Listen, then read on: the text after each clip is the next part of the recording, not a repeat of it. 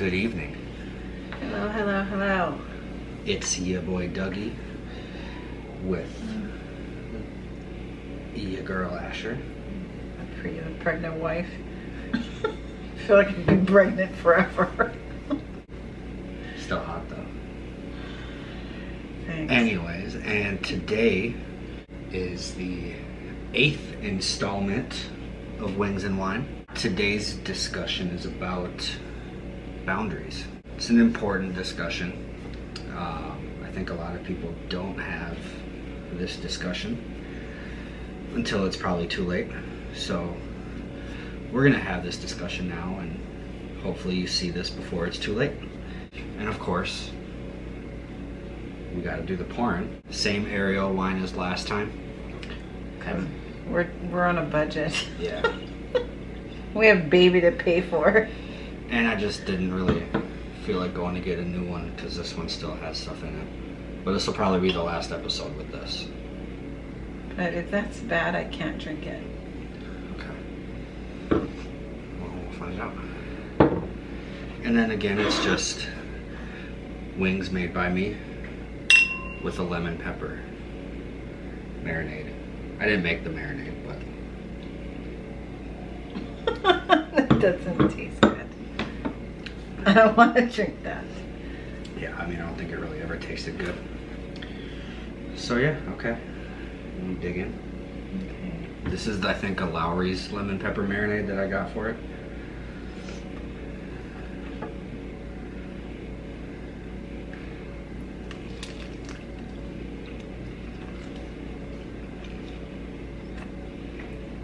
Not bad. Not bad at all.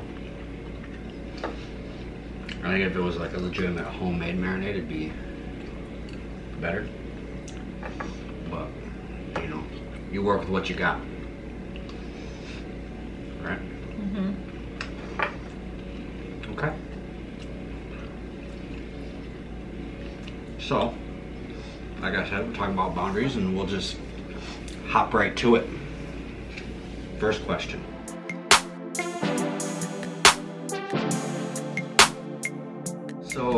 For me, I think it's important to set boundaries as soon as you're aware of a boundary. Um, you know, in, in a new relationship, you obviously want to set them right away, but as you as you grow in that relationship, you're you're gonna find new boundaries as you find. Mean, They're playing. the, our cats, I told our children are playing on the ground. I told him. I told him. They always do this whenever we grab on camera Whatever. because we're not paying attention to Um, them. No, but so I mean, as you know, you progress in your relationship, you're going to find new boundaries. Um, you're with a different person than you may have previously been with, so new things are going to come up that you kind of realize that you're you don't like, and that's okay. Um, but I think it's important to set those early on, as as soon as you find out that you know something bothers you or you don't like something worst thing to do is let it slide and then eventually let it basically end your relationship, right? I mean, I don't know. It doesn't.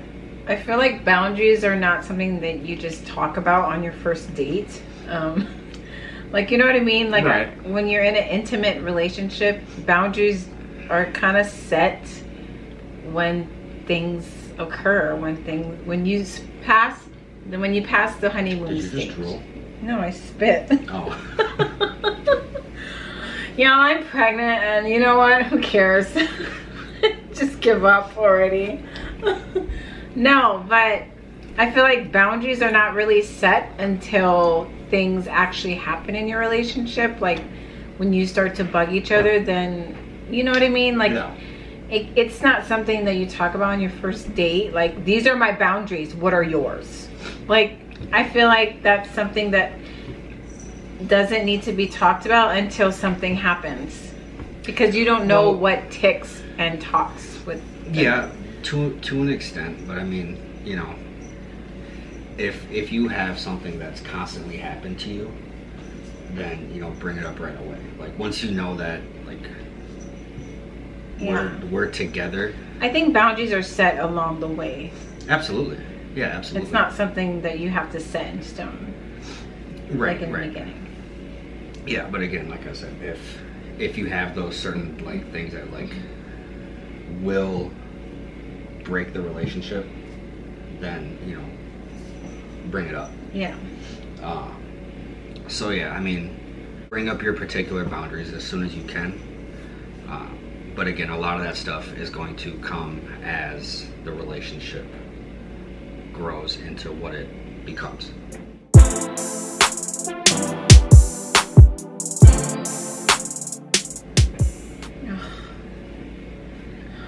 Why it's hard for me to think of answers because I have pregnancy brain.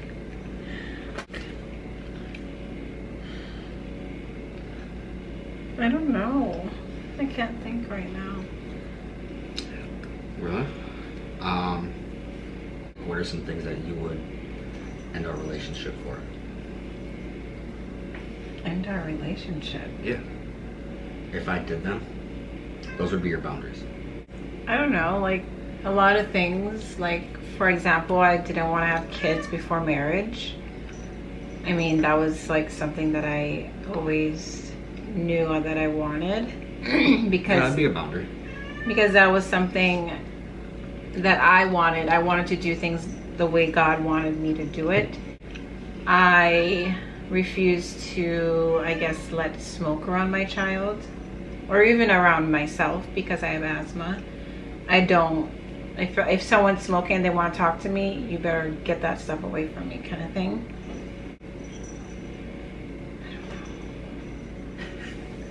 So there are more, but she's having trouble thinking. It's it's late. She's tired, so hey, both of you. they're messing around. So forgive her.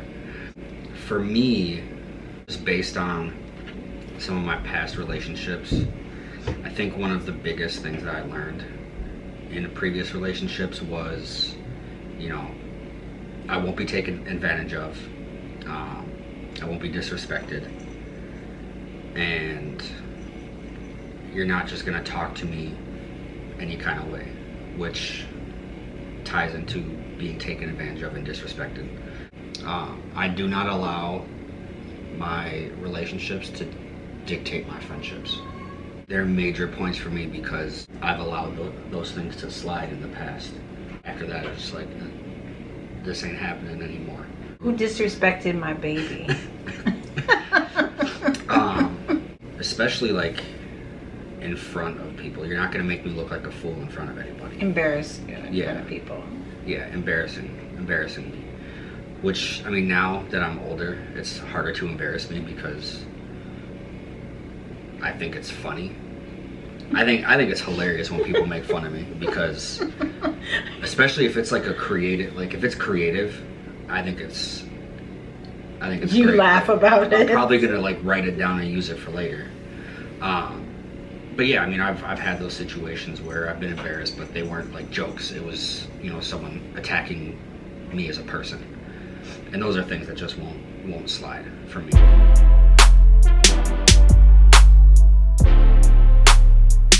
Have I ever overstepped any of your boundaries? Um, I don't think if you have, I don't think you've done it intentionally. Yeah, definitely not intentionally. You haven't because you're just not that type of man. Like, and if yeah and i mean if if i did then you know we obviously like we would have our quick little fight separate for a little bit and then talk about it later. Yeah. and then you know we'd apologize for it. Ultimately when it comes down to it in a relationship especially if you're going to be in a long relationship you're going to overstep the other person's boundaries. That's it's inevitable i think. It's going to happen.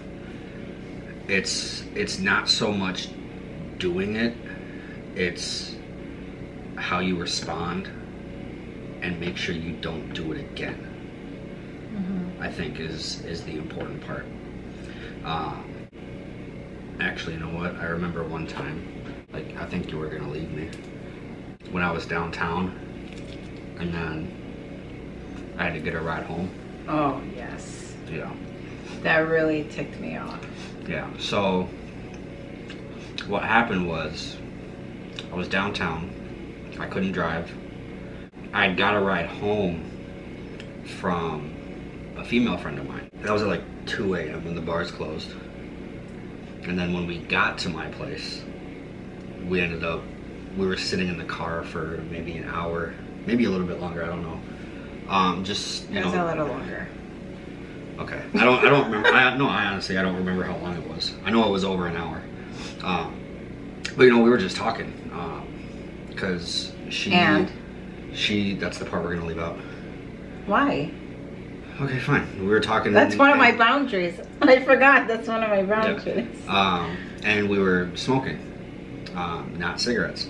This was one of those situations where I knew the smoking thing was a boundary and would bother you. Um, and I apologize for that like a million times. But in regard to the actual being in the car with another woman, my thought process behind that was, you know, you two didn't know each other personally, but you knew who each other were. The only reason you didn't know each other personally was because we had we had an all around out. This girl was going through her relationship problems with her man. Knew that her and I had been together for so long, so And we were engaged at the time. We weren't married. were we? We were I engaged. honestly I can't remember. Okay. Yeah. she knew about our relationship and that we had been through a lot. So I was kind of a person that could provide advice and she would listen. She would take my advice. So when we were in the car, when we were having that conversation, that's what it came down to. Um, but obviously, hindsight, a man and a woman are in a car together until three, maybe almost four o'clock in the morning kind of hard to believe that they were just talking. So there was that, there was that aspect there. Um, I mean, I know that you didn't think that I was, you know, cheating on you, but just the fact on its own, Well, for me, that was a major, For that was me- a major overstepping, probably the biggest. yeah, that was a real big um, fight that we had. That was, Yeah. that was one of the harder, harder things. Um, but we did, we did work our way through it. So Yeah. Yes, I have greatly overstepped her boundaries. That was the biggest and probably, I don't want to say that that was the only time. No, uh, but that was the biggest. Yeah, because there have been boundaries that have been set along the way. Um, but that was one that I knew prior to. Yeah. I wouldn't to- say about to be reminded of some things right here. I um I guess because I have anger issues, which is you know a huge deal with me. When I get mad, I tend to say things that I really do regret, and a lot of the things, most most of the things I don't mean. So I do sometimes disrespect them through my words when I am mad.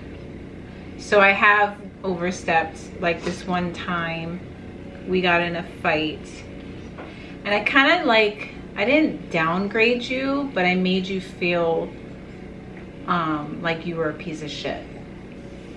I forget we were what we were talking about, but I made him feel like he was a bad person. I don't I forget what we were talking arguing about, but yeah, like I Well, made do you remember what you said? no, I don't remember what I said, but I know that I really did hurt you because of the way you reacted. It takes a lot for you to get mad and for something to bother you. Yeah. It takes a lot. And I pushed that button really hard to the point where like you literally left and you didn't say anything. And usually like that's not what you do. You don't leave, like actually leave the apartment and you drove off and left. Damn, now I wanted to know what you said. It was back when we were living It was when we were living at the Louisiana Avenue. Our first apartment together. But yeah, I don't know. It was just this big fight and I that's I remember it so vaguely like your reaction because it was something I've never seen you do before. But I, I, I honestly don't know. Oh. But yeah, it it really hurt you to the point where like I thought you weren't gonna come back, kind of thing. But yeah, that was. Well, when did I come back? You came back late. Like I don't know what.